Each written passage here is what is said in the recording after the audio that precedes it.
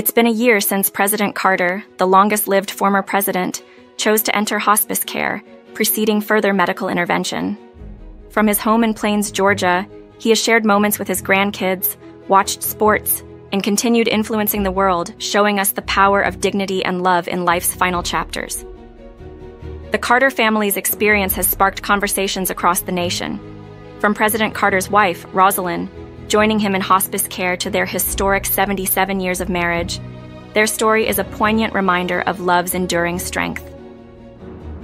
Rosalynn's passing, just days after entering hospice, contrasts with Jimmy's year long journey, highlighting the personalized nature of end of life care.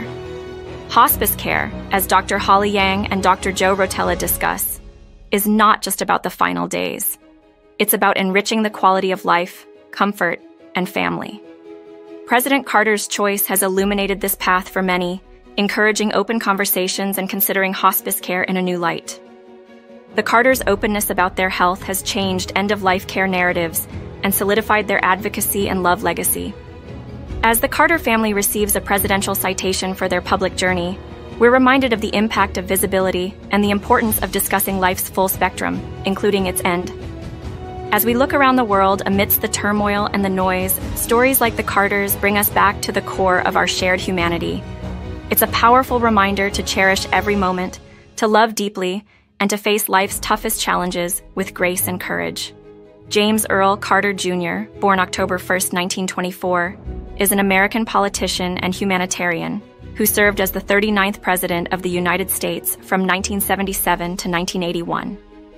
A member of the Democratic Party, Carter was the 76th governor of Georgia from 1971 to 1975 and a Georgia state senator from 1963 to 1967. At age 99, he is the oldest living former U.S. president and the longest lived president in U.S. history. Carter was born and raised in Plains, Georgia.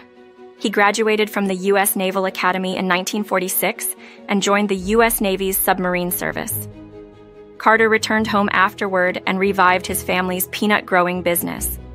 He then manifested his opposition to racial segregation, supported the growing civil rights movement, and became an activist within the Democratic Party. He was in the Georgia State Senate from 1963 to 1967 and then as governor of Georgia from 1971 to 1975.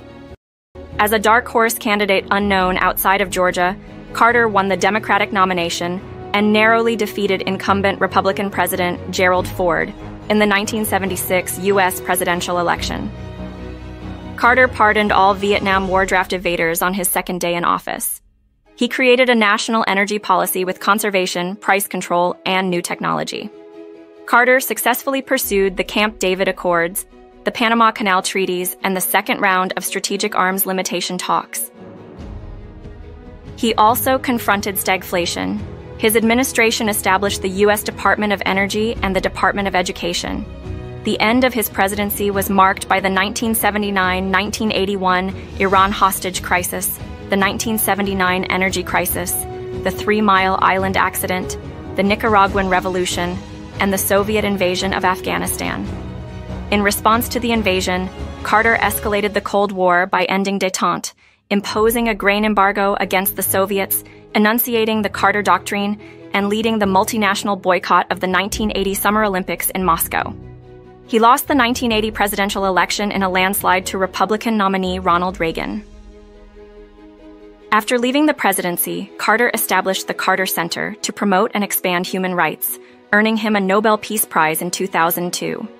He traveled extensively to conduct peace negotiations, monitor elections, and eradicate infectious diseases. Carter is a key figure in the nonprofit housing organization Habitat for Humanity. He wrote numerous books, ranging from political memoirs to poetry, while continuing to comment on global affairs, including two books on the Israeli Palestinian conflict, in which he criticizes Israel's treatment of Palestinians as apartheid.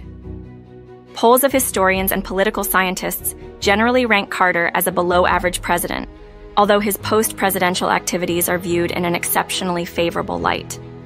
He has the longest post presidency in U.S. history, at 43 years, 29 days.